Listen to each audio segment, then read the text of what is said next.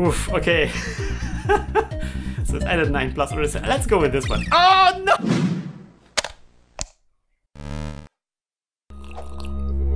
Hi everybody, welcome to Lazy Academy. Welcome to a new game that was made. Uh, it's called High Stakes. It's been just released on um, itch.io and on Lexaloffle, uh, and it has been a game that I created during this year's a game by its cover jam. Now I haven't been posting a lot of videos during this time, sadly, because as I said, you know, I'm I'm. it's very difficult to schedule to schedule uh, at this point uh, stuff for, for me like this. Like uh, I really wanted to um, at least record um, my work on this game um, during during this game jam, but it turned out to be like this very stressful. Like I, I turned out to like I was very late to the party, and I had like literally like my first session where I started working on this game. I I realized okay, I if I start recording this I know that I won't be taking advantage of like little, little time slots that I have throughout my day, like half an hour. Like for half an hour, an hour, I won't set up, you know, my lights and everything, and and so I will have actually less time developing the game if I try to record everything.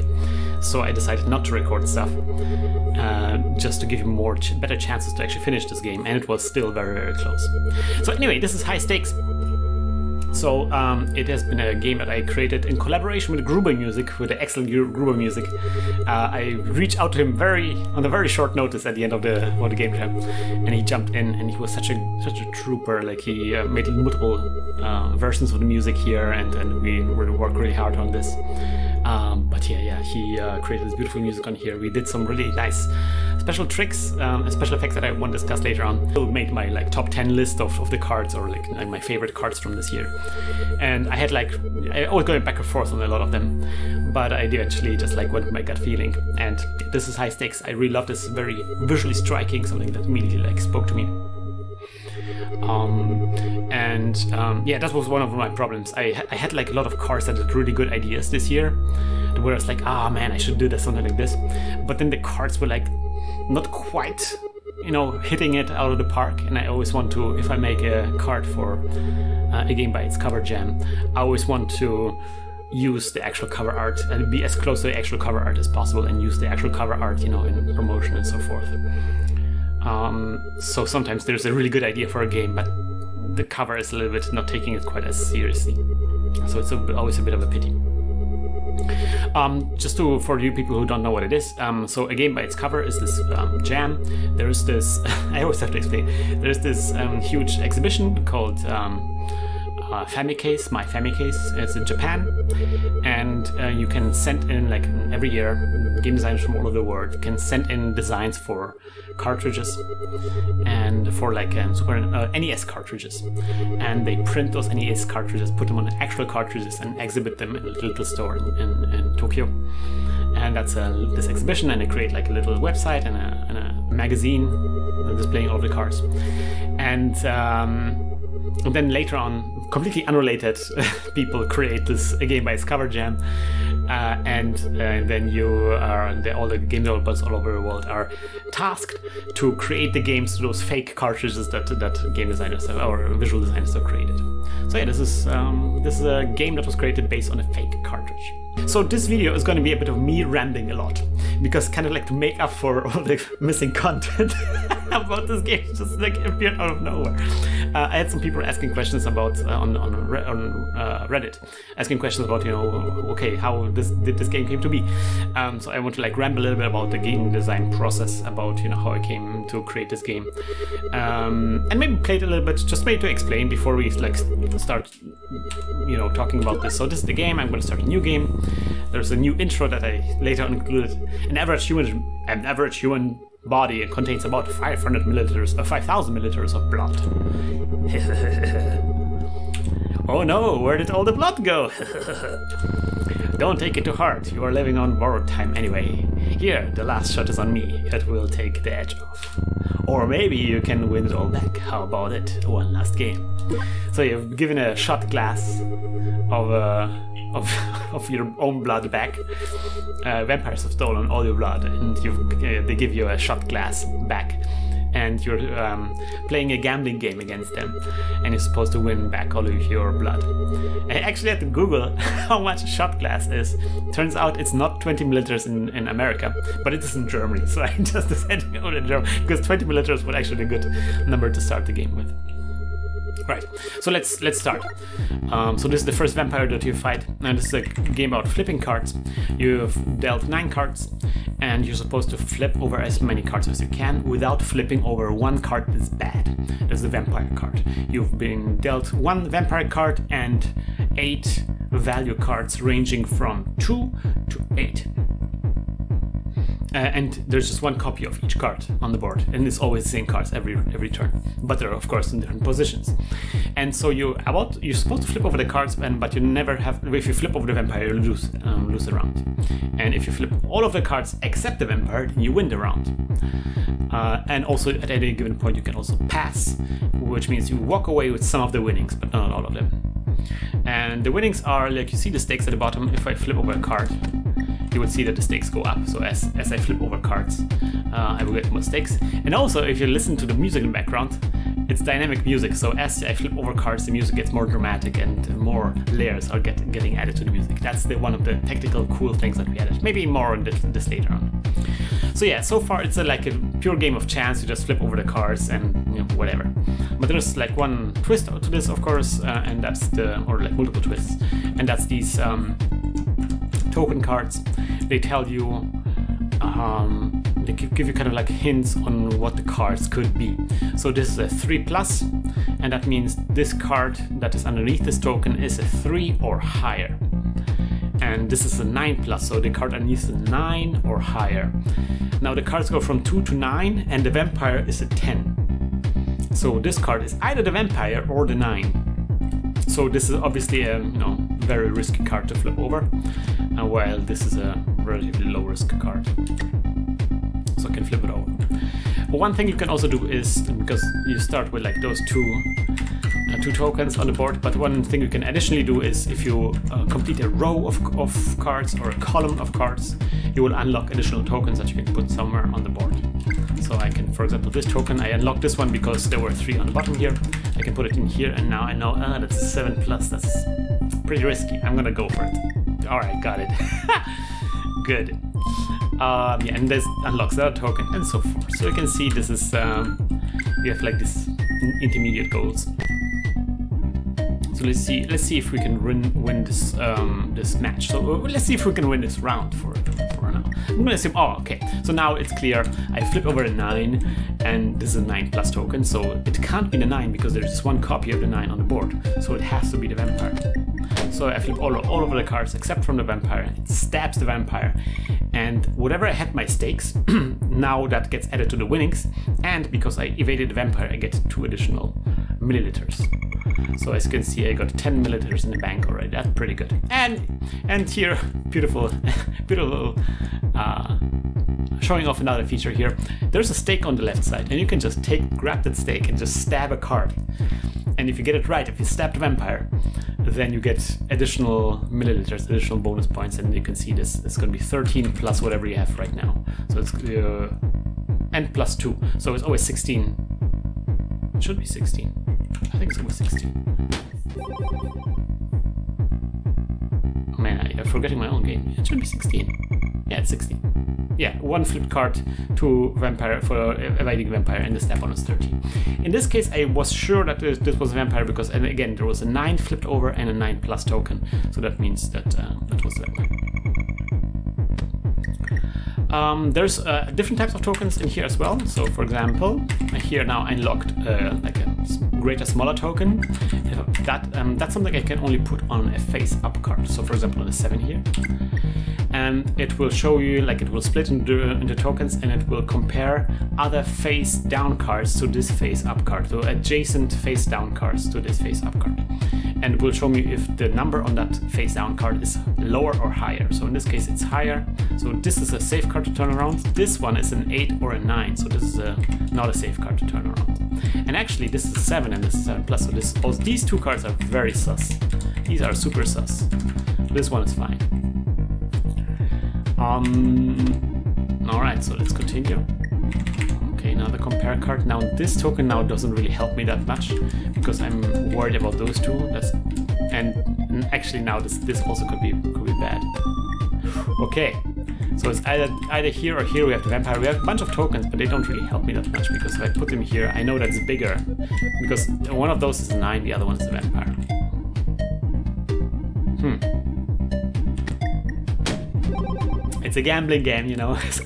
Uh, and that's kind of like an important design decision, something I will talk about later. I, I, I didn't want this to be a Sudoku, where you can always find it out, find out, you know, uh, or a Minesweeper, where if you start guessing, you will lose the game, you know. okay.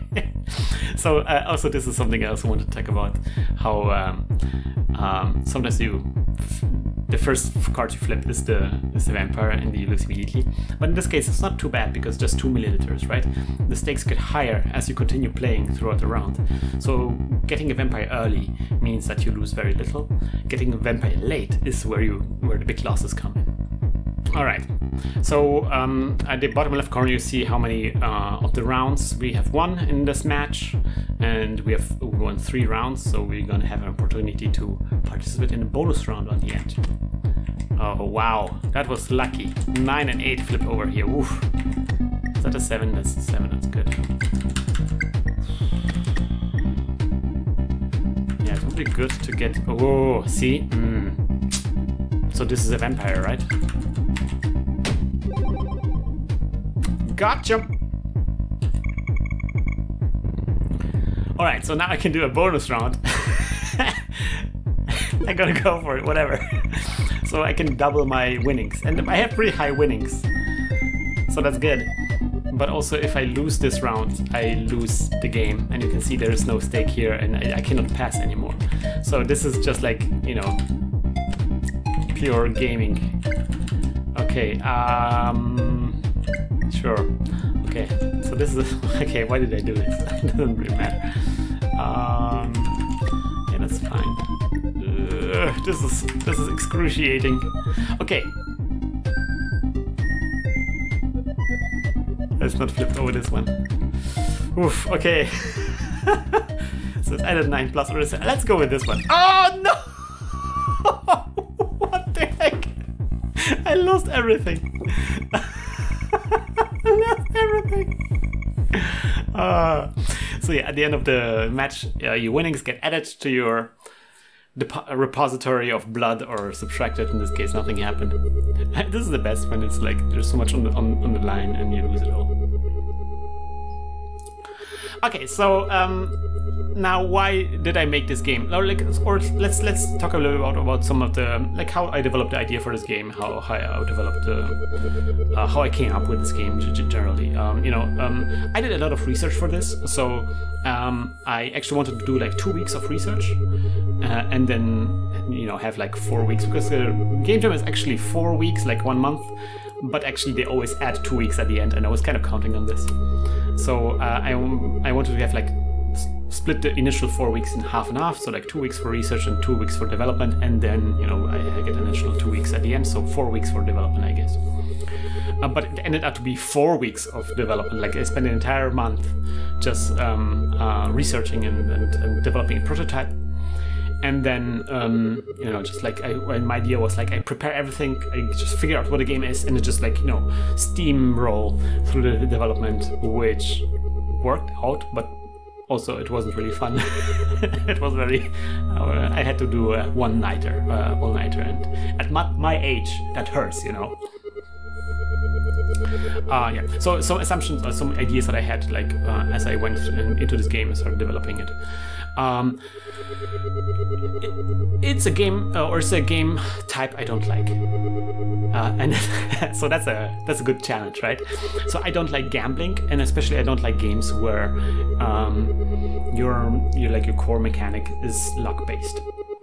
Um, and uh, there's many reasons why you, you would dislike this, but um, for me it's um, well, first of all, let's talk about. I, I, don't like gambling games like games that you play in a casino for money. Uh, I don't think these are good games. Um, and I don't mean it as a disrespectful way. Like I, I don't mean that if you play those games you're an idiot or something. But I like if those games didn't have the gambling part, didn't have the money part, you wouldn't play them. Right? You wouldn't like on a family board game evening, you wouldn't whip out a roulette wheel. It's like let's play roulette today. Woo! that would be like, come on, like there's nothing there, right? Playing with paper money and roulette makes no sense, or, or blackjack. It's the it's the money that that uh, makes the game interesting. Um, and also the games themselves are there's not much of a game there and that's by design right? You if you go to a roulette table there's not there's you do nothing you just bet. Or if you go to blackjack you like all you can do is just like get a card or or not and that's it. And then there's the betting. Uh, and in, during the research of this on this i also played like a lot of casino games and i i hate poker. And there's some poker version that i like but i just discovered i really hate uh, the texas hold'em type of poker because there's nothing there.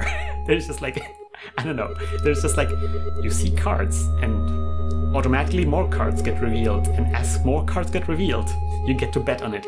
And all of the decisions that you do in poker are about betting, and none of them are about you know changing the board state or you know manipulating board state or pursuing some strategy. You know, there's nothing. There's nothing there. You just cards get revealed automatically. No matter what you do, and you can just bet on those cards.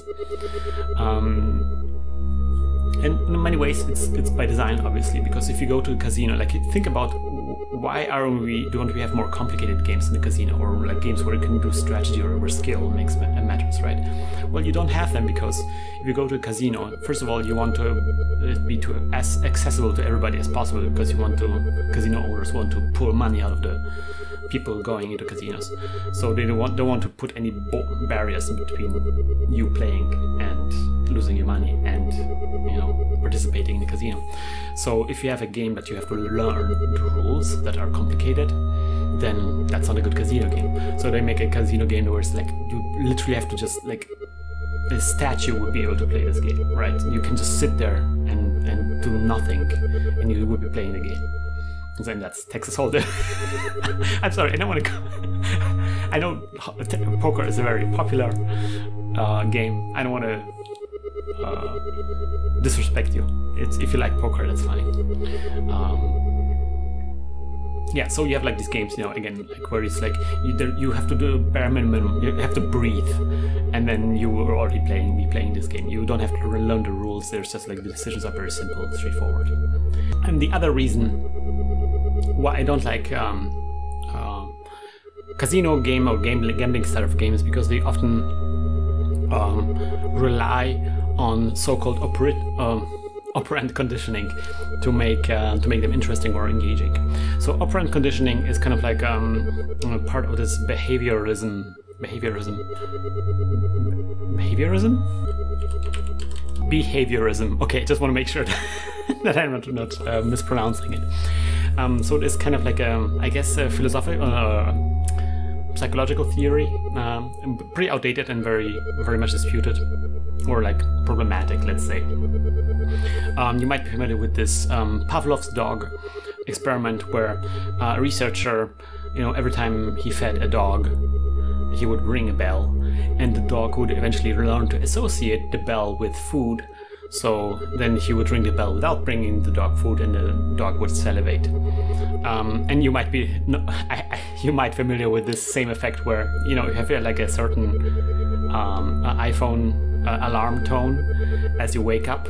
Uh, alarm bell and then you hear it in other, some other context like in a movie or something and your heart, start pound, heart starts pounding because that's how you wake up every day well that's the kind of like the same situation here right and so operant conditioning is kind of like um, like a follow up to this. Um, how can we use um, this kind of training um, where you know animals or humans learn to associate certain things with reward or punishment to change their behavior. And uh, one very famous example of that, or like one guy who pushed it very far, was um, a guy called B.F. Skinner, and he created so-called, or he did research into reward schedules. So how can you associate a certain action um, with a reward or uh, punishment, but depending on a certain rhythm or logic, and how which of those rhythms or logic or what you call schedules are most effective at manipulating behavior of animals, but also people, I guess. Uh, and so what he found out is that the most effective pattern is a um, random reward schedule. So if the thing that the animal does and the reward are um, uh, random to each other. So the idea is that you know um, a rat would press uh, would be in a cage and they would, they would press press a little button and a food pellet would come out. That's the reward, right? You press a button and a food pellet comes out. And so the rat gets rewarded for pressing the button. Uh, and so the rat will learn that pressing a button is good and he will start mashing the button and getting the food pellets.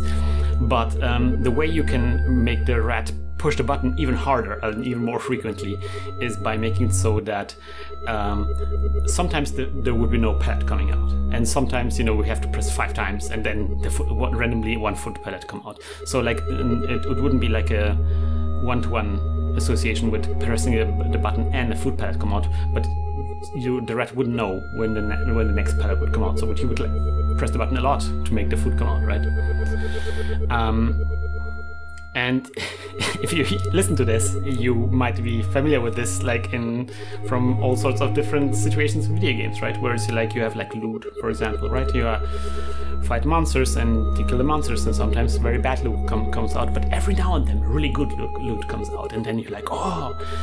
Um, so yeah, that's operant conditioning, and um, this kind of stuff is very problematic, very, very, very controversial. Um, uh, because it's it's there's an ethics problem here. Um, it's a very well-known phenomenon, very well-known structure that you can use to manipulate the behavior of people uh, to do to make them do things that they might not want to do.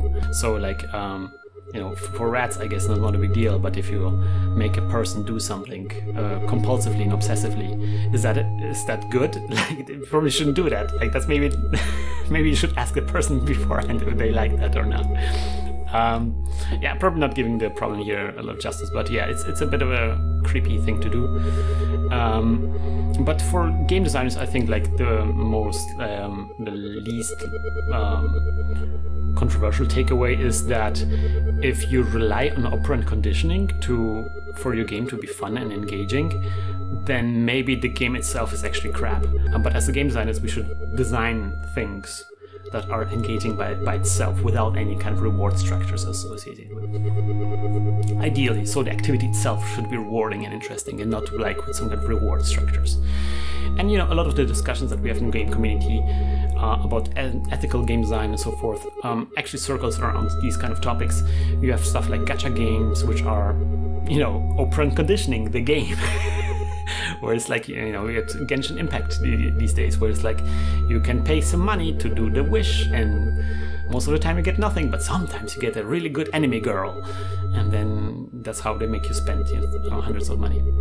And if you like think about it, this this structure that we just described here is obviously like a slot machine, right? You just pull a lever, and most of the time you lose money, but every now and then, randomly, you will get some money, and that's how you they make you you know push the lever over and over again.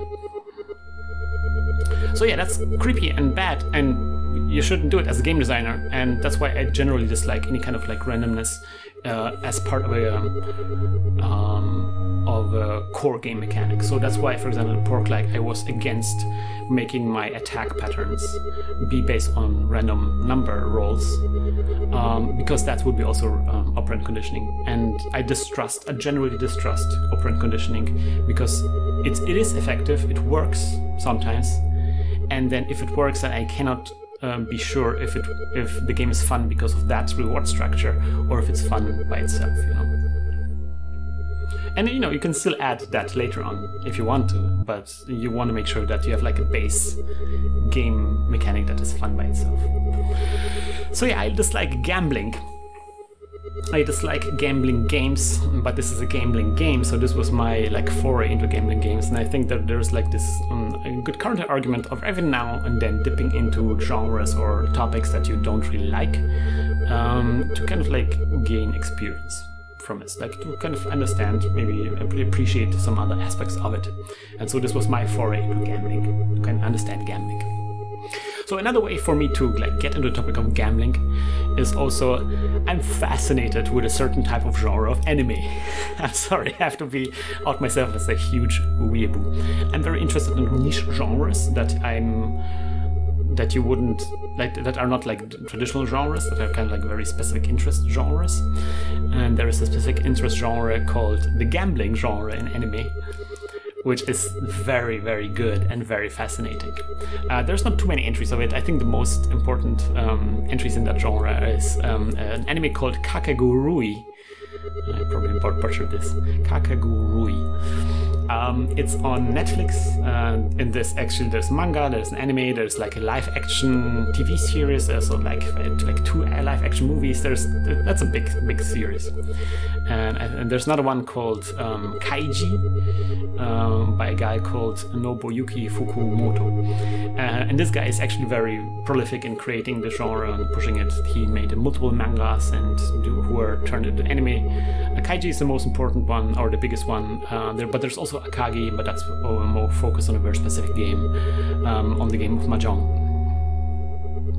So what is um, gambling anime or a gambling manga? I guess uh, it is kind of like a show where uh, the protagonists are gambling uh, and in, in, incredibly high stakes games, uh, and there's like like ridiculous um, huge uh, you know stakes riding on a line. So in Kaiji, there's like multiple situations where like literally body parts are on the line, and I think in Kakegurui as well. Like yeah, like they would bet like fingers and, and body parts and you know play uh, Russian roulette and stuff like that, and stuff like that. Um, but also like other things like in Kakegurui you have oh, um, it's like this ridiculous idea of like a gambling high school where uh, there's multiple situations where like you're you bet your entire life on the line where you like you give uh, somebody like a um, you basically become a slave of somebody, right? They can like decide what your life will be, which you know is a very political statement there as well. so that's that's very interesting part of it, like the political aspect of you know um, power imbalance. That's something that really appealed to me in, this, in these genres.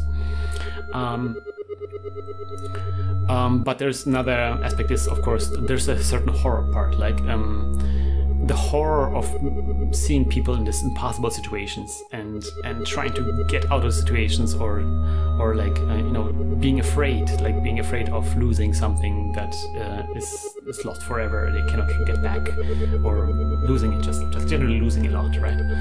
Um, and dealing with that loss or this danger of loss.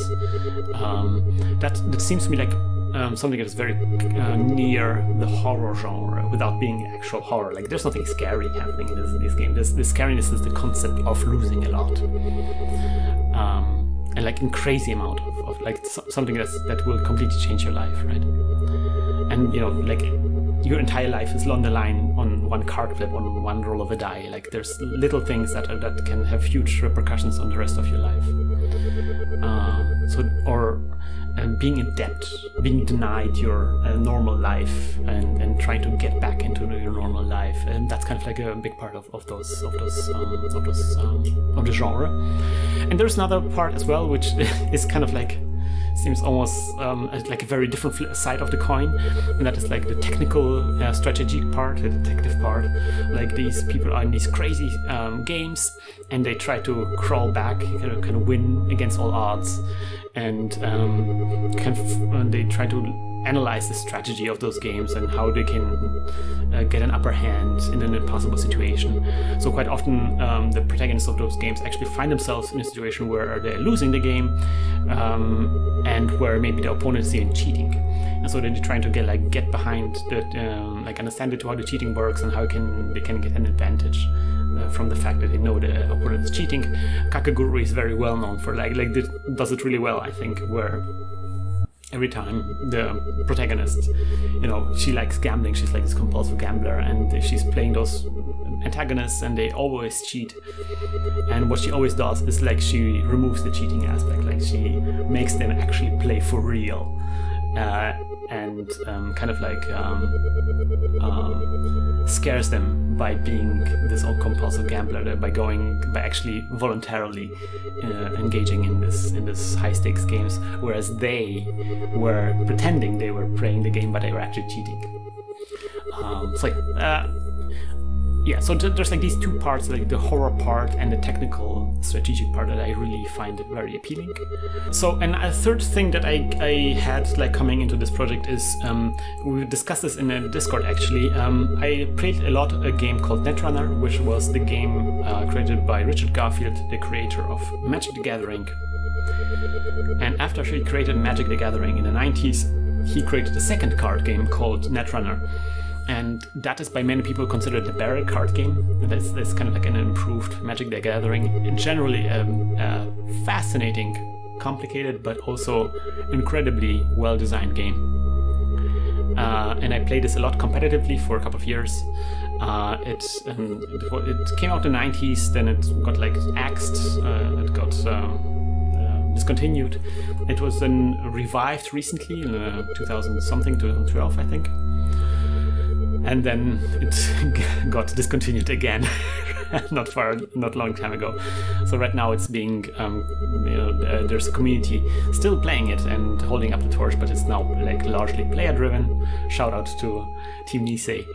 Um, yeah, so um, this um, this card game is something that I, I, I, think about a lot because it has a lot of very interesting mechanics that you don't really see anywhere in um, in games, and one of them is like this um, that I, I'm always thinking about how to get this Netrunner experience, how to maybe capture some of the aspects of Netrunner that I found interesting about Netrunner, how to capture them in a maybe single player experience. And we were discussing this a little bit in the Discord, you know, how that could look like. Um, but yeah, so this was maybe an opportunity for me to do that a little bit, to kind of get some of the ideas of Netrunner.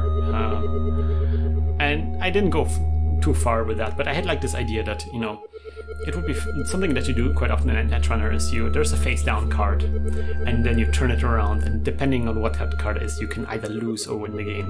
There's often like these kind of like decisive moments where it's really all about what's underneath this card. And there's all sorts of like information that you get from different sources that give you an idea what this card could be um, but you never know until you find out right?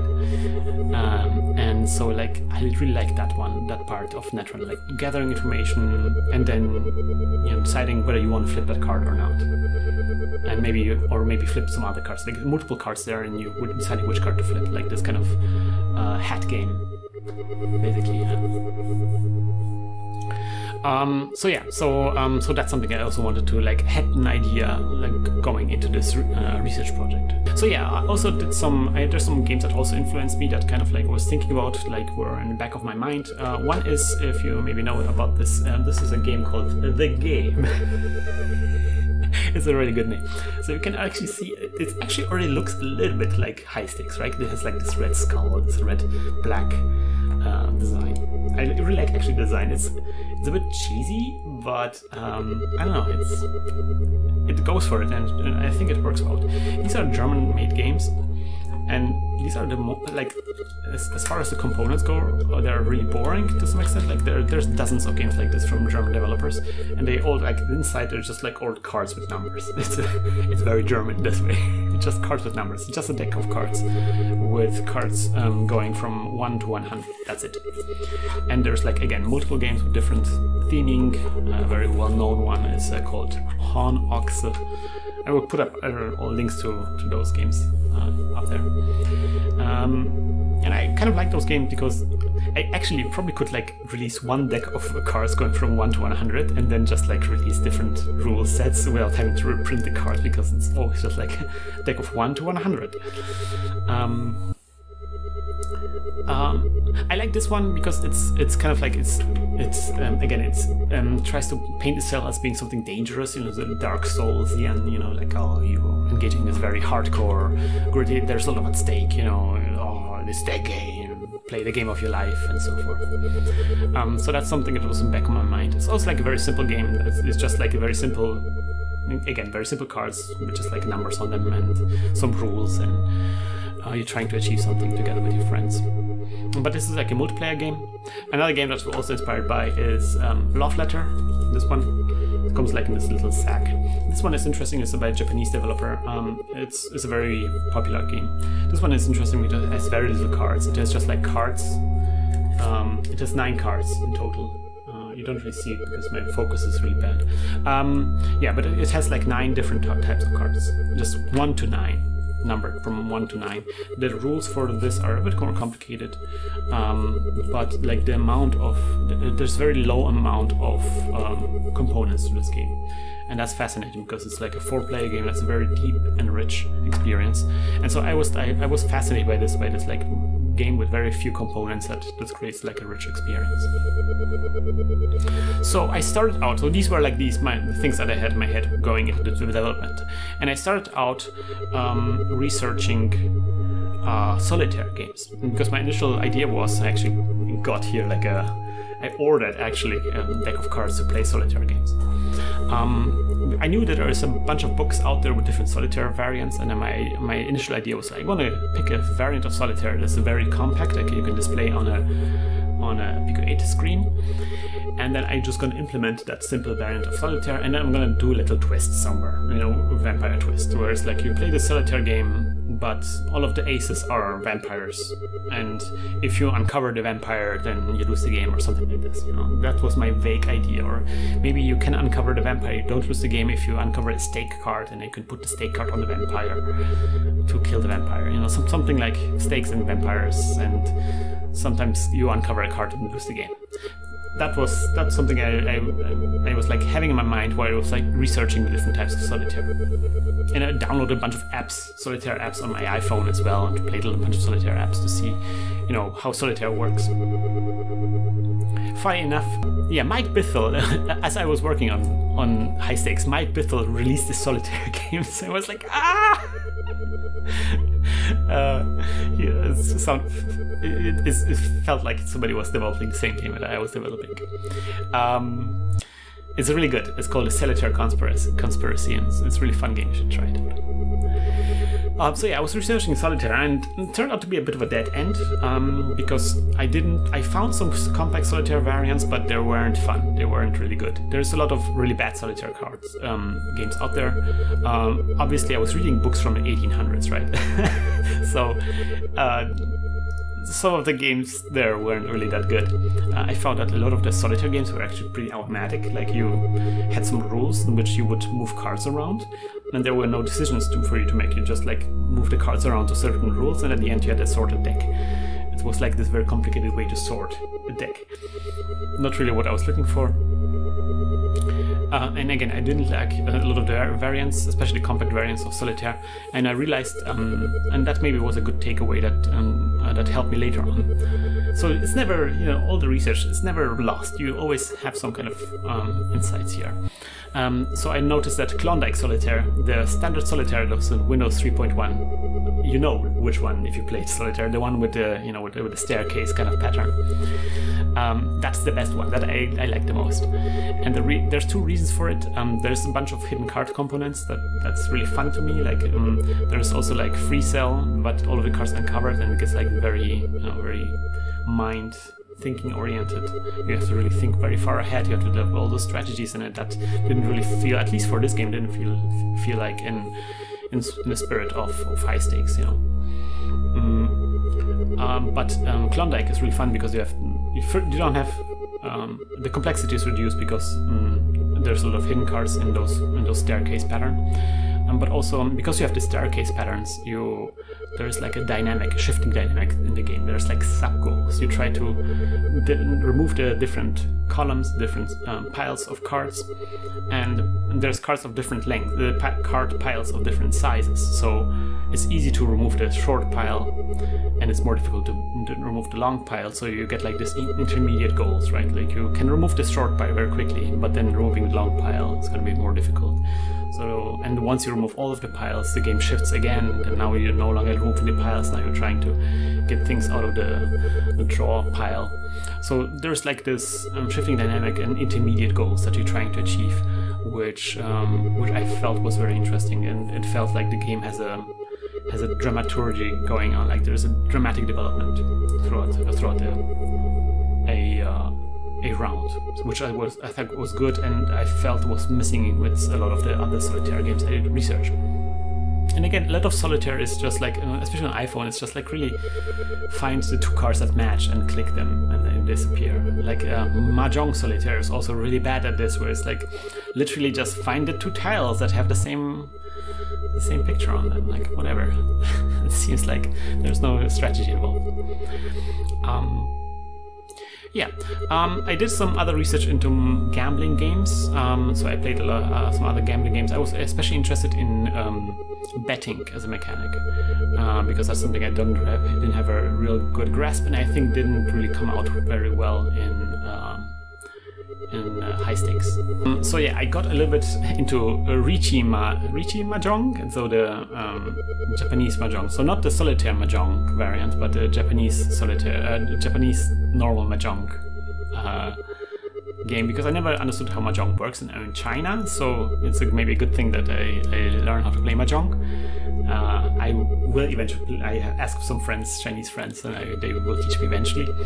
Um, but also, I like play. I play this um, Chinese, uh, Japanese variant of it, and that also allowed me to enjoy another gambling manga by Nobuyuki Fukumoto.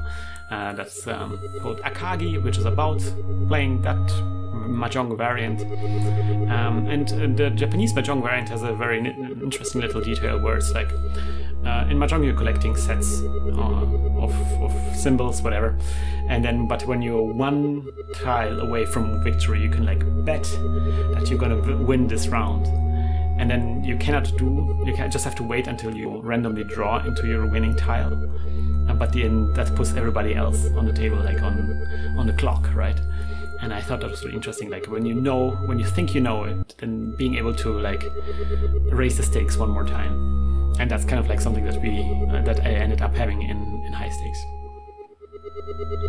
Um, but in order to play Riichi Mahjong and also other gambling games, I got the Nintendo Clubhouse collection, which is like a, on a Switch. There's like a little collection of like board games basically or like um, yeah like clubhouse games i guess um, that you can play on a switch. And i thought that was interesting because and it's like um, you know big studio nintendo studio um, making uh, those simple games. I want to see how they make those simple games how to make uh, make the card games work you know how to visualize stuff. I want to see how a how a good studio does does it and also like learned some of the games. So that's how I got into Texas Hold'em and realized I hate it.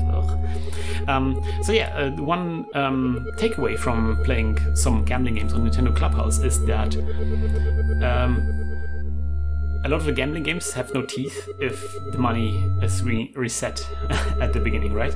So in Nintendo Clubhouse, if you play blackjack, for example, you start with a certain amount of money and then you can lose all of the money, even you get like into debt into negative money. But at the end of the game, you know, it's nothing. Like you can just restart the game and you have all your money back. So the losses are not permanent, uh, or you, the, the, the, game doesn't track, you know, your how much you win or lose over multiple games. So there's no penalty to always just like go all in on everything. Oh. I always record this with uh, uh, Streamlabs OBS and sometimes just people who subscribe to my channel. Hi. Um, so yeah, I um, I realized that a lot of the games were like I, you would just always there's no reason not to go all in on every single bet on those on those gambling games on Nintendo Club Clubhouse because again if you lose badly whatever just restart right um, and if you uh, but there's always this potential that you just win a ridiculous amount because you went all in on this you know blackjack thing and then you got just the right cards and then you know you top the high score list so in order for gambling to work uh, i realized um, or a gambling game to work your losses have to carry over into subsequent rounds. You have to like have like a uh, money that you carry from one game to another and that you can lose in the in long term.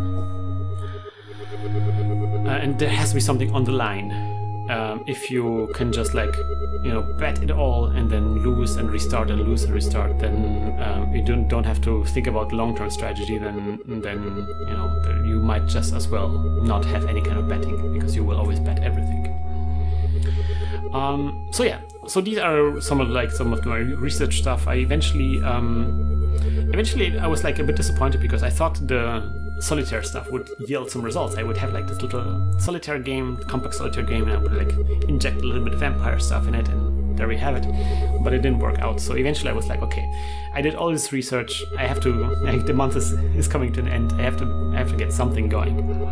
Mm. So I thought about okay, how compact do I have to be, right? Uh, how how many cards can I put on the screen of Pico 8? And I figured, like, you can obviously you can do as many cards. I've seen people make solitaire, actually full Klondike solitaire on Pico 8, but I want to have the cards to be of a good size. And I figured, like, with the size I was I was going for, uh, nine cards would be fine. So I was like, okay, let, let's let's start with that. How what can I do with nine cards? Arrange the cards in like in a three by three pattern and I, I, thought, okay, I knew that I want to have a situation where I'm flipping over cards and it might be a vampire. So I, I assumed, okay, maybe there's one vampire card and the other cards are safe, and then you're not supposed to flip over the vampire.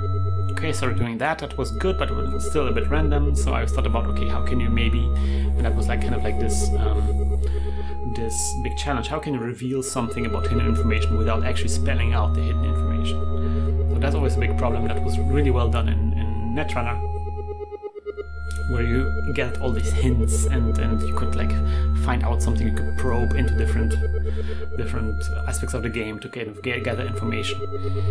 Um, so yeah, that was a bit of a challenge. Um, the hint tokens were kind of like big deal that I eventually came up with. Like, what if there's like something that tells you, you know, this card is this or higher or lower?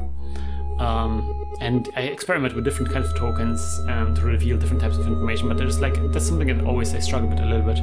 How can you again? Uh, there's like when there's something hidden from the player, you how can you give the player an idea of what this thing could be without just plainly saying it, right? Or because it's very easy to like it's it's a slippery slope. If you just reveal just a little bit of information, the player can often just because they're smart, they can often just deduce what it is. Um, so yeah, that's a bit, bit of a bit of a bit of a difficult thing. Um, I eventually figured that like um, or something I want to like look in, or think about more in the future is like it's never just one hint. Like the, the, a lot of useless hints can combine into into actually um, being this interesting puzzle to figure out. So, for example, um, the hint tokens themselves never actually tell you flat out. Here, this card is a vampire, right? You can never put a token on a card that straight, um, straight tells you that that's a vampire. You always have, the, for example, a 9 plus. That could be 9 or the vampire, you never know. But if um, you get information from somewhere else, and then you combine the two informations, then you you can actually narrow it down that, that tightly. So the token itself won't tell you, but some other information will will give you additional information to narrow it even further down. So again, um, counting cards, you know, like being able to see ah the nine is already flipped over, and this has to be a nine or a ten, so it can't be the nine because the nine is already flipped over, so it has to be the ten. So like these kind of situations. A lot, of useless information amounts to more than uh, just the sum of it, it, its parts. So yeah, that was a bit of a strategy. I, I to be honest, I'm like, uh, I if I want to make a sequel or like make a you know high quality um, game out of it, I would really have to maybe sit down and think about more mechanics to get more information, like more tokens, types, maybe to some some different dimensions of the game as well. So if you have any suggestions on what to do here, I am certainly open. Some people suggested in a Discord suggested doing some mathematics additions.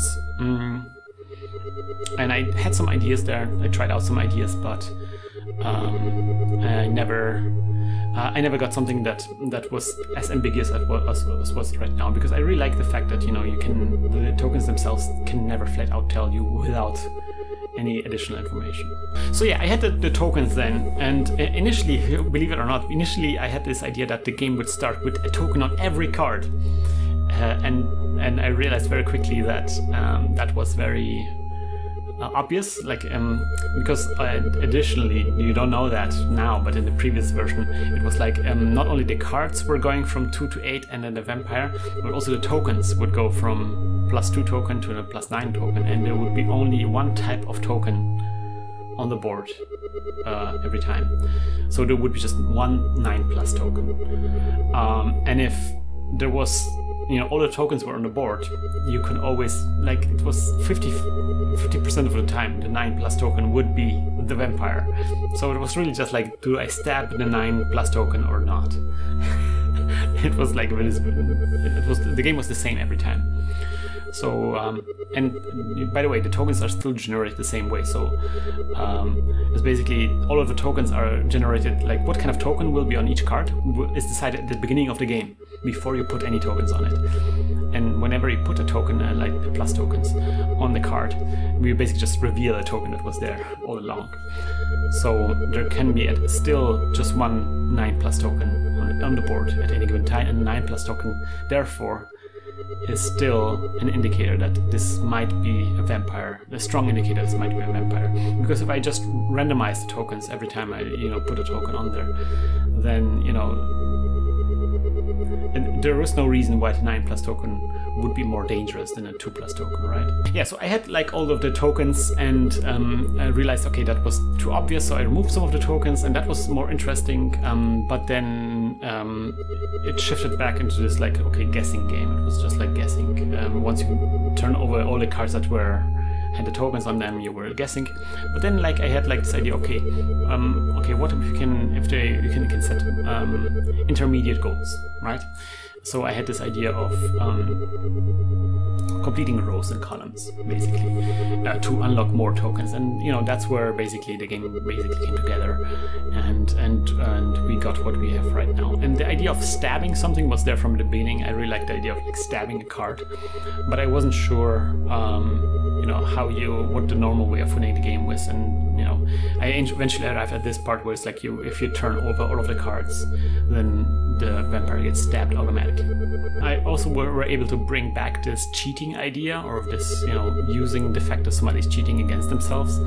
So this is a bit of a spoiler. So if you want to uh, skip this part, then skip to this time code that I will show right now. um, so um, uh, late in a very like the final um, vampire that you unlock is that's, that's Orlok, and I made um, at the end I made him a bit more difficult than all the other vampires by challenging some of the assumptions that you kind of like take with you uh, automatically, but are actually like don't have to be true.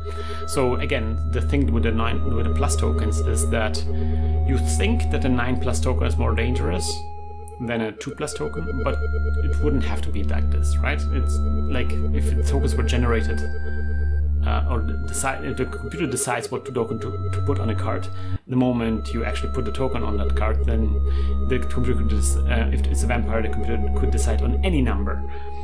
Um, and it would be still true. Um, there's no reason for a computer to favor a 9 plus token when it's a vampire card, right? Um, and again, because of the very complicated way the way I generate the tokens, um, uh, the 9 plus is still more dangerous token uh, for the other vampires, and it kind of like feels feels right for a player. But for Orlok, it's not the way. So for Orlok, I made sure that all of the nine, um, the probability for a vampire to appear on the token is equally distributed. Um, so basically the nine, the plus tokens are almost useless there, unless you can like rule it out through some other, other evidence. Um, and the other thing is, I noticed that players were going for the box token a lot. I, I, oh, I didn't. I, I am not sure if I showed the, the box token, but anyway, there's a box token that shows you a 2 by 2 square and the vampire must be in that square and that's a very powerful token and I had to nerf it a lot to make sure to for it to make sense in the game. Mm, but still like a like a dominant strategy was just to always gun for that token first and then activate it and that would uh, eliminate all of, a lot of possibilities. Um, and so what Orlok does is uh, he, he there's a higher chance that the vampire is going to be in the row or column that belongs to that token. So if players always go for that token first, they will lose in the long term. And of course, again, because you, if you know that, if you know that Orlok is cheating this way, like not distributing the tokens randomly, then you can exploit it, and then you can be sure that the cards that are not in a row or column uh, of the of the box token, that these are safer on on average. It's not a, a sure thing, but on average they're a little bit safer. Anyway, back from the spoiler, welcome back. so yeah, that was a bit of a way of getting this cheating as, um, and exploiting assumptions thing from the gambling anime, getting this a little bit back in here, and that's something I would love to get more in uh, in this maybe a sequel if I continue working on this somehow. But yeah, that's something I have to like think about. And if you have any suggestions, guys, let me know. Uh, would be to hear. Okay, so um, what was development? Well, again, I had a very long pre-production phase, and I was like, I wasn't working because you know designing and coming up with ideas is not something you can really rush, not something I can like power through. Uh, and I'm not really in a situation where I can power through things anyway. So uh, yeah, I was uh, I, it didn't go as quickly as I hoped it would. Um, uh, and again, my assumption was that I would create like a prototype and I would figure out the entire game and just then just like use two weeks I have left to just um, uh, rush the development. And that kind of worked. Like um, I kind of figured out mo- figured out most of the stuff pretty well. Um, I had a prototype, like a very simple prototype, create a very simple prototype in the first month and um, all of the game mechanics were basically the same as in the final version, so that was good. Um, something I underestimated uh, still uh, during development is, and I always underestimated, is how much effort UI costs, how much time UI costs. Um, just designing the UI, just sitting down and creating a screenshot of UI of like this screen here, that takes such a long time, and then implementing it in the game, like all of the lines, and you know, has to take data from different sources, and you have to create data structures, and everything has to be animated. And you know, I'm also insane, so I animate everything and make the nice transitions between the different menus. So uh, yeah, that cost, cost a lot of time. That was most of the time spent on that. Um, yeah, so that, that was a bit of rush to development cycle and didn't feel very well. Uh, I had to get again. I had to do one one night one nighter, and I wasn't sleeping on the other nights very well either. Um, and at the deadline for a Game By Its Cover, the game wasn't fully complete. There were some features miss missing. The different vampires were um, were all the same. There was no like progression system happening, and some uh, narrative stuff was missing, and because I had everything rushed, I accrued uh, what's called technical debt. So technical debt is if you have to like quickly do some kind of solutions and you don't have time to think it through or organize things, then um, you are left with like bad solutions and then you build on top of those bad solutions and you have to like work around of problems that you had like underneath. And then like going back and it's, it's difficult to change the things underneath because other things are dependent on it already.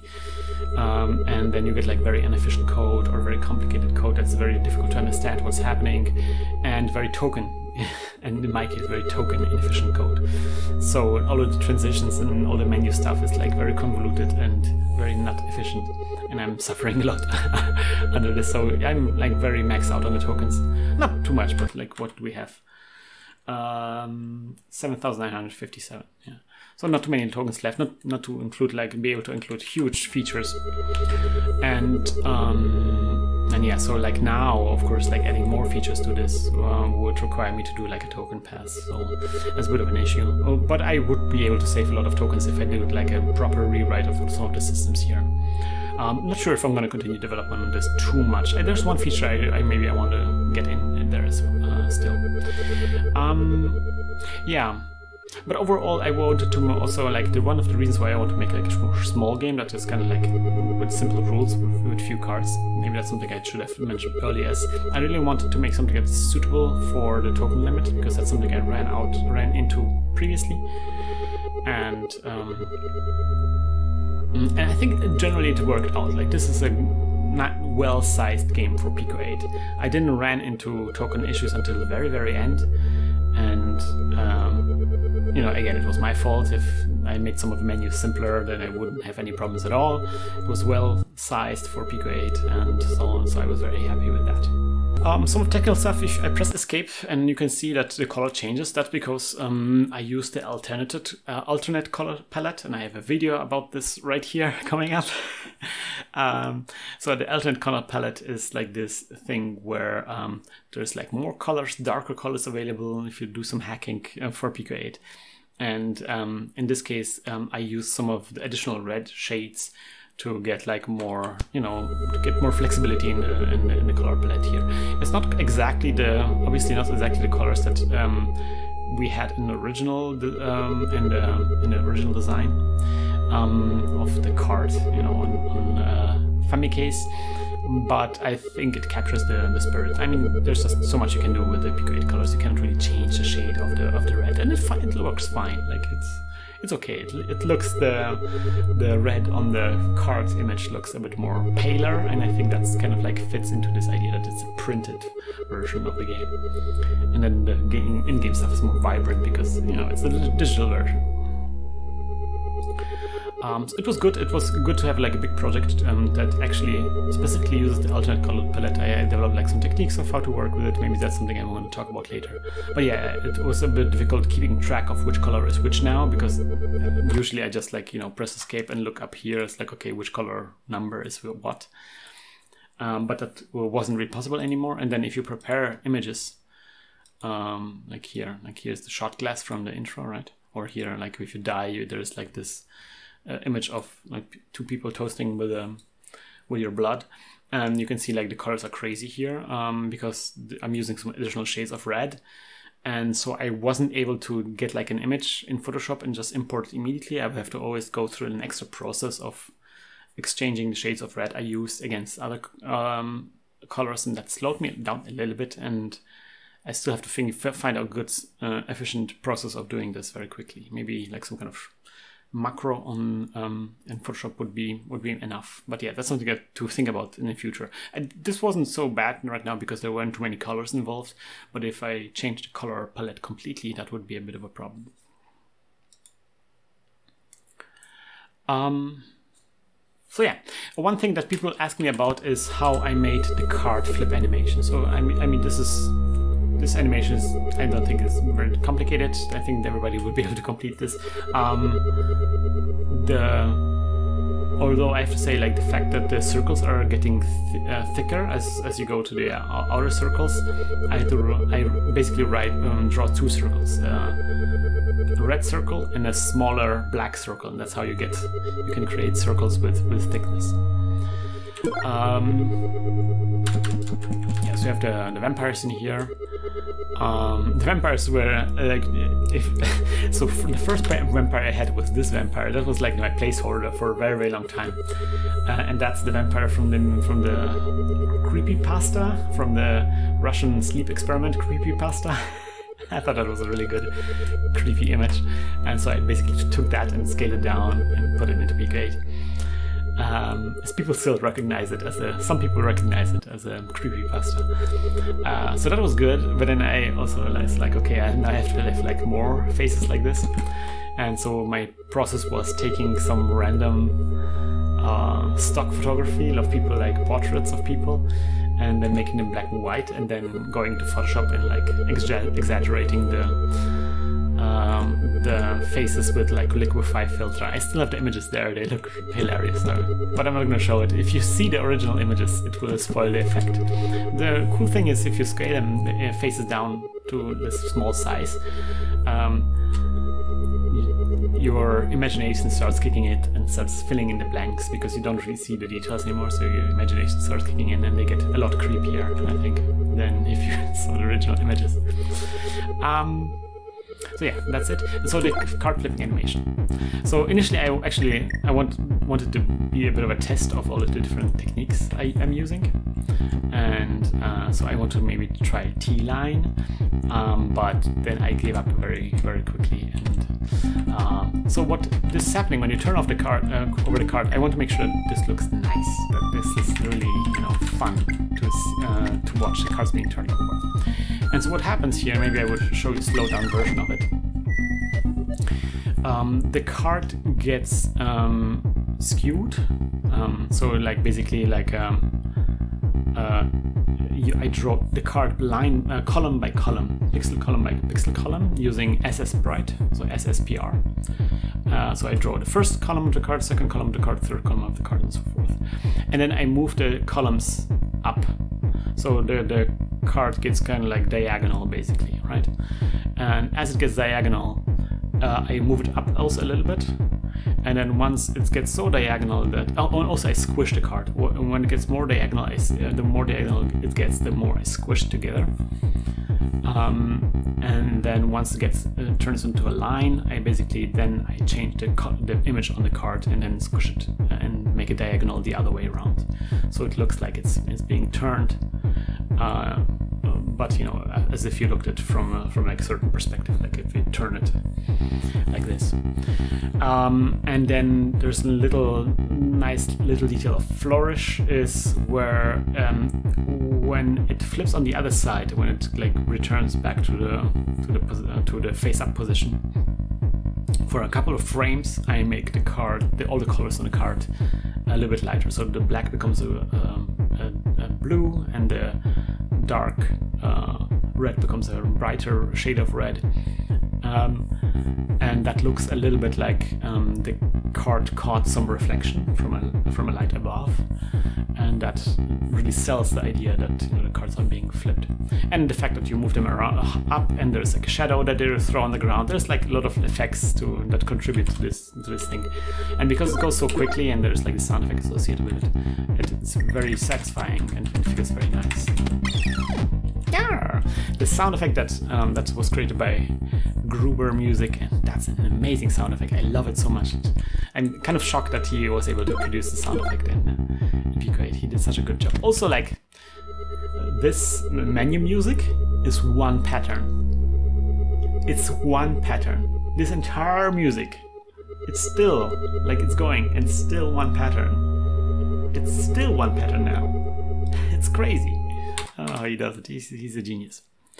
And then, yeah, um, during the game, as I said, um, when we are playing, you know, this is like just the baseline right now. So this, so we have um, uh, Gruber music composed like a sequence of multiple patterns, not just loop and sequence, uh, and um, yeah, he used all four channels for the music and I basically use a poke and peak, or I guess only poke, um, as I described in the uh, memory uh, video.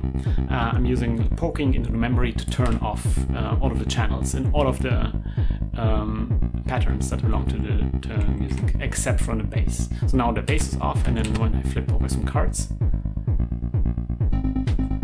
um, I turn on one channel. And whenever you do that, you know, uh, the music loops through one pattern and uh, the new channel comes in on the next pattern. That's why there was a little bit of delay. It didn't turn on immediately, but it waited until uh, the currently running pattern was completed and then you heard a new uh, channel. So as you continue, more and more channels gets turned on. Let me, let me see if I can get the whole music.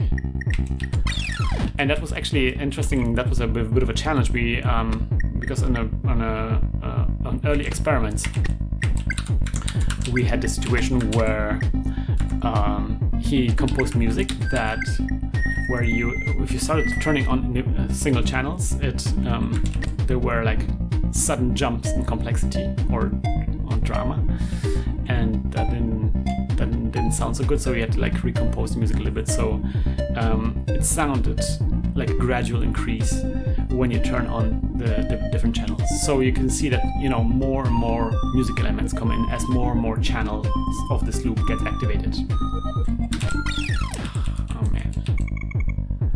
Uh, there's a similar. Um, oh man, I'm so, I'm so, I'm so unlucky right now.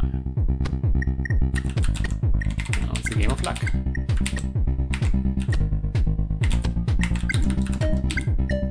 Hmm, let's do it. Oh, that was bad. I wanted to put on a 7. Well, let's do it. Bam. So, um, yeah, so we um, you activate the individual channels of the music and at the, at the end of the last two cards or so you heal all channels at the same time and then you, you, you know, the, you hear the entire composition, the, the, full composition, but otherwise you hear only like the bass or just bass and, and some music instruments. We kind of like experimented a lot about hitting the right tone because uh, we wanted it to be spooky, but we didn't want it to be unpleasant. So that's it was a bit difficult. We had multiple had to do multiple re revisions until we hit the right kind of feel. Um, the in, the final inspiration, and you might hear it now that, that I tell you this, um, was actually um, Phoenix Wright. Uh, there is some Phoenix Wright tracks which are like very dramatic, but also like this pumping sound that is very addictive, like very pleasant to hear, but also like dramatic and intense. Uh, and yeah, because like some early experiments we had were like very spooky and creepy and I was worried that people will listen to this sound a lot, right? Like if they, people will playing this game will hear this music a lot, and I I didn't want to get tired of it that quickly, or I didn't want to be like like oh no, like turn this this this sound on it like gets under under my gets me on my nerves, you know. So I wanted to, to feel like like like a struggle for, for victory a little bit, more positive, more poppy a little bit, than, than uh, like a some horror music, typical horror music. Um, yeah, okay. So this is this is all my technical notes. Um, uh, oh yeah, and there's no, there's one more. Uh, so um, one technique I used in here a lot is is I used um, uh, the memory. I used RAM so again, using the, the techniques I described in my memory video, I the way I generate the cards is at the beginning of the game, you can see there here's one card. There's no other cards in this entire sprite sheet, right? There's no cards, there's just one card here. So what I do here, the, the card is just placeholder, by the way.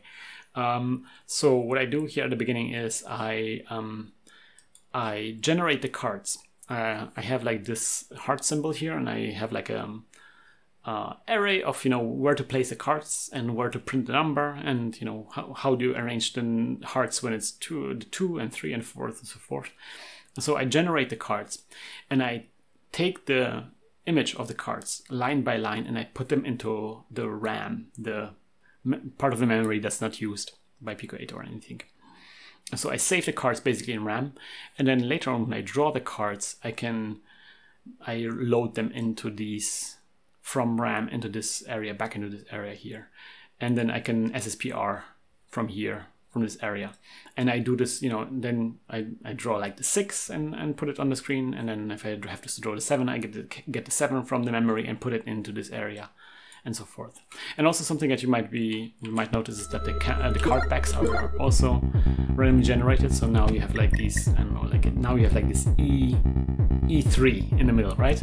So I restart the game, and now it's a different card pack. And again, that's something I started uh, a technique I developed on working on MyChan Sweet Buns uh, because I wanted to do that already in MyChan Sweet Buns and didn't work. I didn't have the tokens for it. Uh, but basically, you uh, the way you do it, it sound wow, it sounds like it looks amazing, right? But um, it's very easy. It's um, uh, it's just random pattern, just like using random. Like if you know RND is smaller than 0.5, then it's dark pixel. Otherwise, it's a bright pixel. But then it's mirrored uh, on two axes. So like uh, like like this and then this, you know. And because it's mirrored, uh, a random pattern will look very deliberate, like a carpet.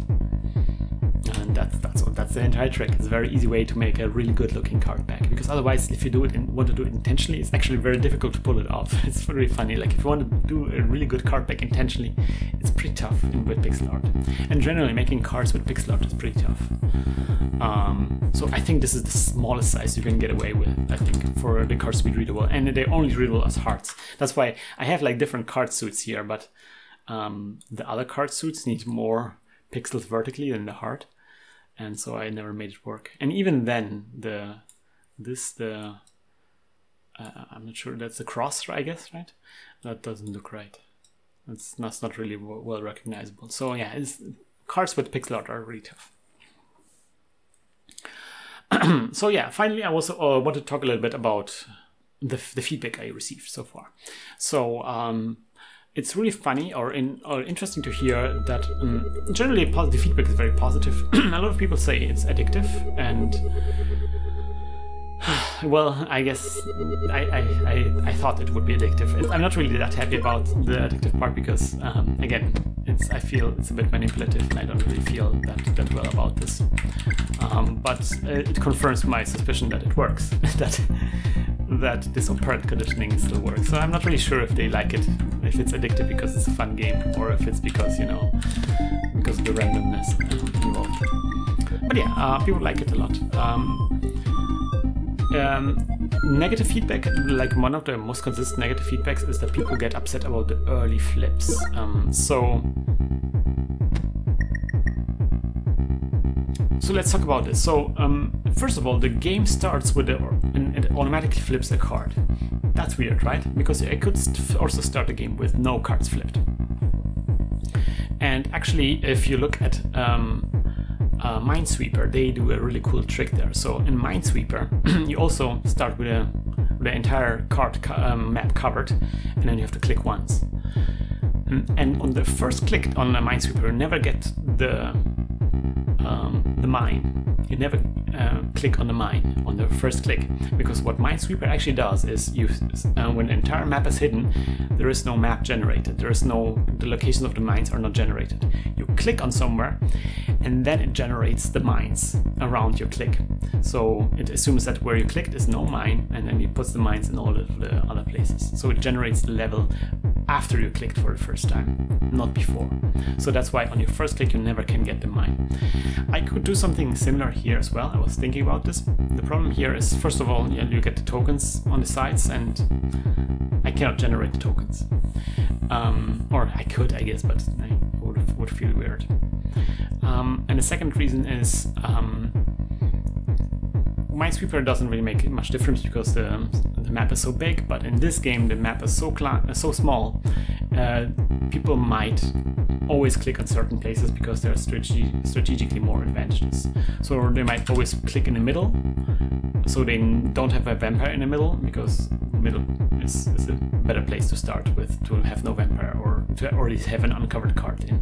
Or they might always click on the row or column with a box token because they want to go for the box token. So I am, in order to force the player to work with a changing uh, starting position, I um, take that decision away from them. I uncover the first card. Um, and also for the generation of the tokens, it's also important that one card is uncovered. um, but yeah, so one card is always uncovered. And the other thing is um, so yeah, so people are upset if now if you if you turn over a card and that card, the first card that you turn over, one of the first card that you turn over. it's just my luck. Just when I want to show something, I course I do this, this. But yeah, people um, are upset about uncovering a vampire early. So if I cl click now, it's a vampire. And of course I knew it because there was a 9 plus here, but if um, they click on some random card with no token and it was a vampire, people would get very upset about this. And there are some a couple of negative comments in here. And people suggested that, oh, maybe you should like tweak the percentages or like rearrange the cards uh, underneath so the early cards are less likely to be vampire. And I don't like this idea. And actually, the game already has a system that deals with it, right? So the idea is that stakes are raising, are getting higher as you flip over more cards. So uh, encountering a vampire early means that you lose less money than if you had encountered the vampire later down the line. That would mean you would lose more money. And still, you get like those comments where people say like, "Oh, I played this game and I covered uncovered the vampire on my first draw three times in a row, and that's why I lost the entire game. And I'm like asking, what happened to the other games, right? Because like, if you had won the other two games, then you would have easily made back the money that you lost by uncovering the vampire on your first click. Uh, but of course, they're not thinking about the other games because the other games felt more like they had this, you know, they had a, a, say in them because you know they went for longer. So they lost because of the other games. That's where they really lost the, the, the money because you know they cards and there was more at stake, so the losses were greater. But it feels like the first flip vampire is unfair because you had no ch chance right? You just clicked on somewhere, you were going on a whim, and you had really bad luck. It feels unfair. So I'm not sure how to deal with this. If you have any like ideas on how to lessen this impact, it's, it's just an impression thing, right? It's not not an actual physical like it's not actually like the game is already making sure that these unfair flips are still have very little uh, material impact on the game. Like again, flipping a vampire on your first click is the best thing that can happen, the best kind of loss. If you're a, if you were to flip a vampire, you want to flip a vampire early on. So I'm not sure what to do here. Maybe you know the first three th three flip flips are um, cost you no stakes, or I don't know. I'm not sure what to do there. It's it's difficult. Something I am I'm actually thinking about. You know how to address in a possible sequel or whatever. Um, I had some comments of people wanted to be Sudoku, uh, more Sudoku-like, having more tools to actually narrow down where the vampire is.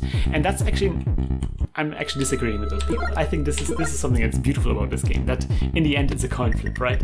So um, you can see this more better. I guess I haven't unlocked the second one. You can see it when once you get the, the box token, where it's like the game often comes down to a coin flip. Like you can flip over the cards and it's fine. Um, but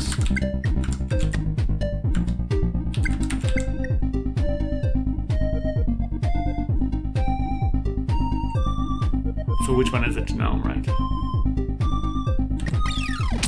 See, uh, it's what often you you clear the entire board and it's often down to just two cards. And quite often you actually don't have the tokens to that to to to figure it out because you're always going for the the tokens tell you where the cards are but you always go for the low value cards because they are safer. So the higher value cards often stay on the board for a longer time. And and um, it's very difficult to resolve um, where the vampire is if you only have higher if only the higher value cards are um, hidden. Um, because, for example, this compare token, like putting it on a 3 is useless. Because there's very few cards that are smaller than a 3. There's just a 2 that is smaller. Um, if you put on an 8, like this is very useful information right now because I know that this is a 9 or the vampire and there's already 9 plus here so okay I already identified where the big value cards are so I can like very safely flip over all the cards here. Um, so this was a very useful token here right now. But um, yeah, putting it on a 2, like right now, the, the, this compare token is useless because I, I know this is bigger than a 2. I already know that. I don't, like, the, the putting comparing a hidden card, big hidden card to a 2 is useless for me. Um, and I like that, that, that you can never narrow it down in the end, right? Like that you can always, that you're always forced to do the gamble thing when there's a lot at stake. That's what the game was supposed to be. That's supposed to be a high stakes kind of game. Uh, so it comes down to a coin flip, but again, it's supposed to be a coin flip. If it's a Sudoku, then um, then that's a different kind of game. And and it's kind of funny because the game is trying to be something that Sudoku. That you, you're supposed to play this game the way you're not supposed to play Sudoku. and I often end up playing Sudoku like that. And you too, admit it. Like sometimes you, you play Sudoku and you're supposed to find out, you know, where the numbers go. But sometimes you're just like, oh man, I just want to finish this puzzle. And I was gonna assume this is a two. And then you continue, and then you hope that you guessed it right. uh, and then of course the numbers start not aligning. Like, oh no, it wasn't the two, it was the other one. and the same with uh, with um, Minesweeper, right? Where it's like if you start guessing in Minesweeper, then you're losing the game. You're not supposed to guess uh, in Minesweeper. And in this game, you're supposed to, like this is a gambling game, you're supposed to guess at some point. Um, something that's, that's, important here that it's important, uh, it's possible to pass, and people were a bit, um, like first of all, the pass function wasn't there, I think, in, the, in my in my first version. I'm not sure if it was in there. Not sure. But it took me a long time to implement the pass function. That's why it's also like in terms of layout, it's a little bit to the side. It's a little bit easy to overlook. I'm, I'm not really happy with it. I, there should have been like a big pass button underneath. I'm not really happy with the way the layout turned out.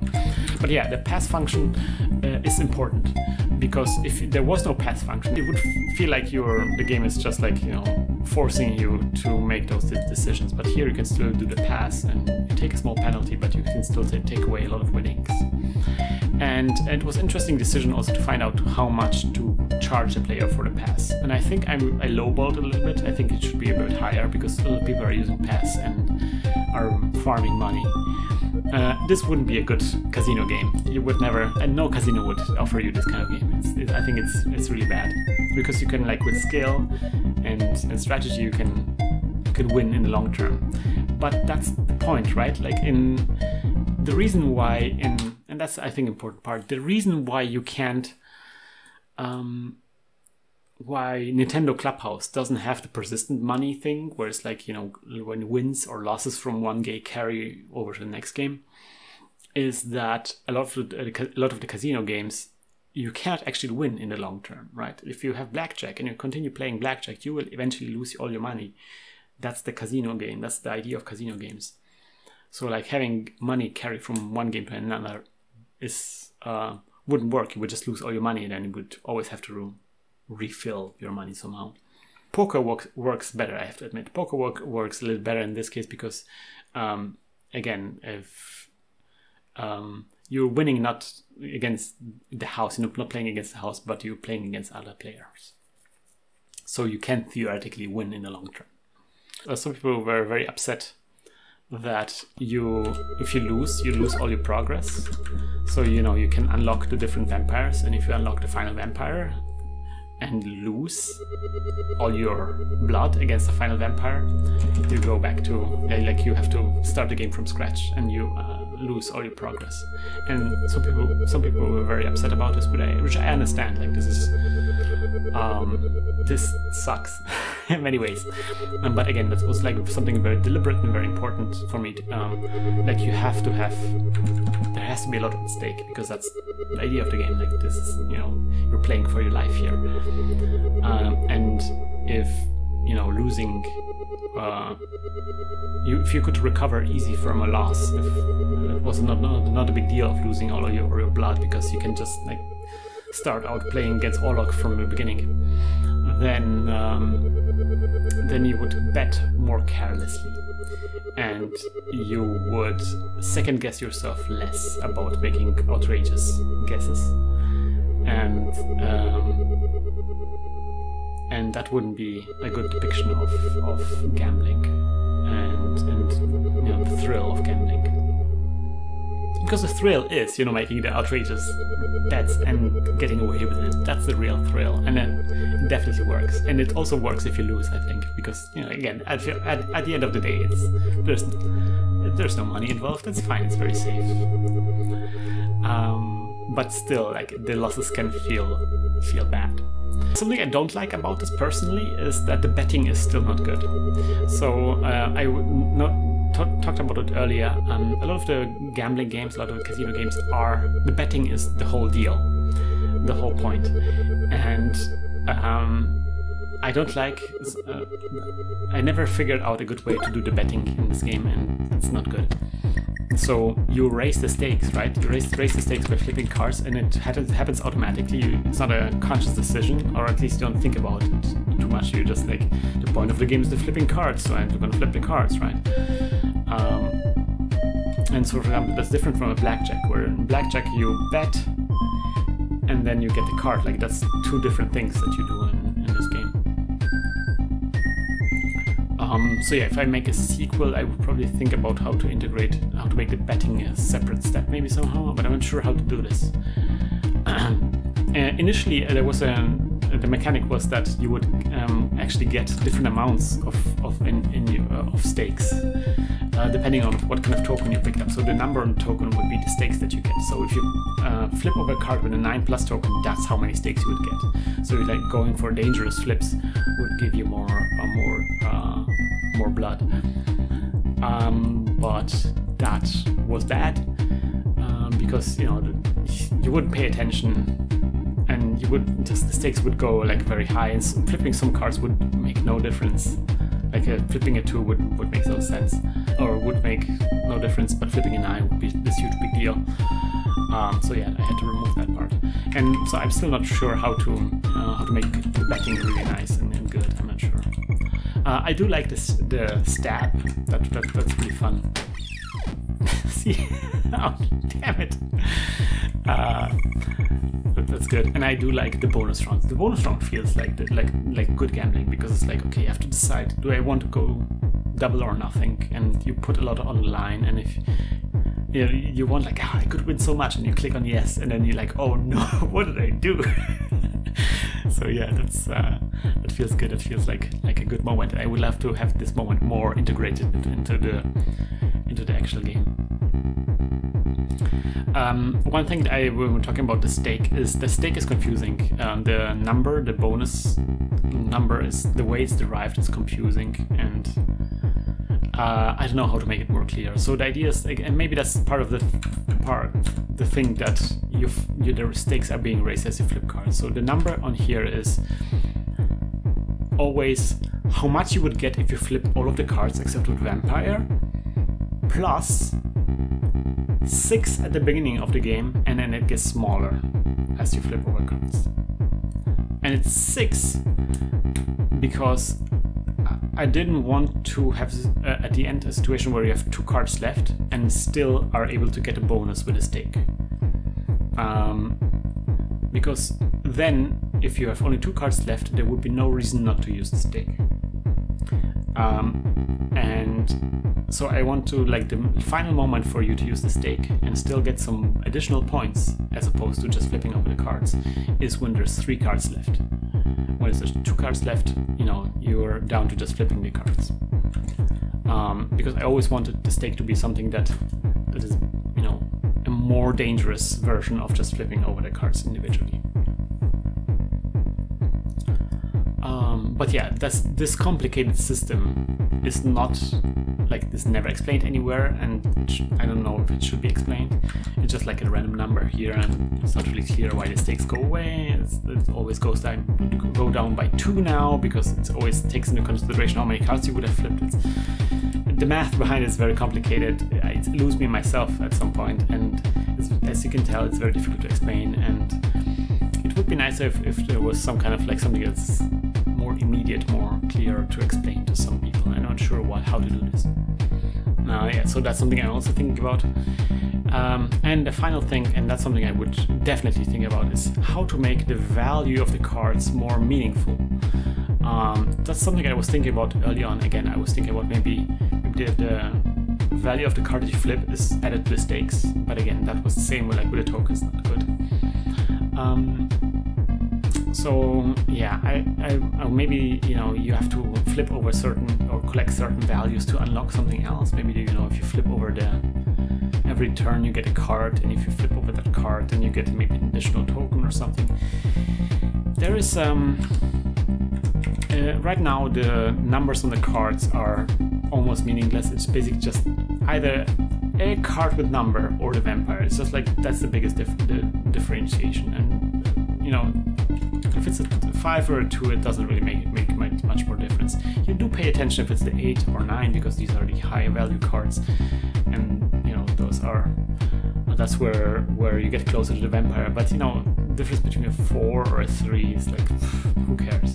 And it would be interesting if it, it was important if it was a four or three. If you, the, that part was um, important also in some some kind of way. So again, maybe you're collecting the the, the values somehow. I'm not sure. It, it would be good if there was something else. And yeah, also thinking about how to do to add other tokens yet. There's still one idea that I had is it would be nice if the vampire sometimes put a value token, like a plus one stake token on some of the cards. It's like I dare you to flip this card. Like if you flip this card, you get additional stake. Um, but if it's a vampire, you that stake gets uh, like to get like more of the gambling part maybe in the game. I thought that would be a good idea and would also like include the vampires more uh, as an antagonist because maybe he would like comment something as, uh, as well. But that's definitely a feature that I'm not really. I probably don't have the tokens for. So that's definitely something that we, we have to do for a sequel or something. I'm not sure. Yeah, so that's all I had for for high stakes. I think it's it was a fun project. I really love it a lot. Um, I want to still continue working on this and adding. Um, so the feature I'm, I'm, missing is like on this main screen. There's really nothing to do. Just continue or start a new game.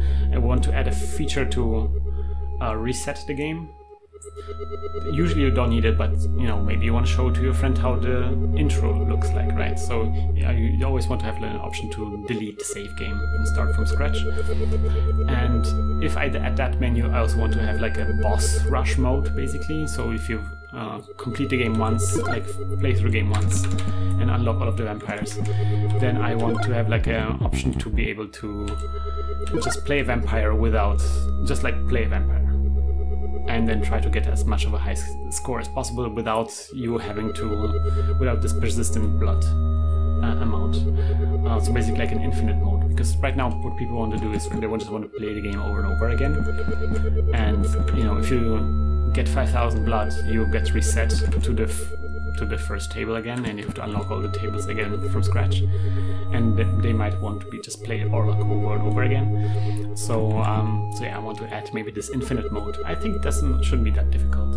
So yeah, this is high stakes. Um, play it um, again. I, I, will add some more features, but it's basically done right now, and I want to. Um, all I want to do now is to get it up on uh, Newgrounds to see how people on Newgrounds will think about this. Um, but yeah, that will take some uh, a week or so to get get running there because you know, there's all achievements and stuff like that you have to get in there. Uh, let me know what you think, if you have any ideas uh, of the problems that I discussed, um, what your impressions of the game was. I'm, I'm always excited to hear what, what you guys uh, have to say about these games. Um, in this game, I especially I did very little playtesting because everything was so rushed. So it would be really good to hear from people what they what they thought yeah, play this game. It's a fun game. I, I, I, had a blast working on this, and I think it came out really nice. Uh, yeah. So yeah, um, coming up is I still have some um, uh, the next memory video the, about some secret memory functions. Uh, I have a still a video that I want to prepare, and then obviously I'm still working on uh, the next tutorial, but that's something that's going to be coming in the far, far future. See you next time, everyone, guys. Bye bye.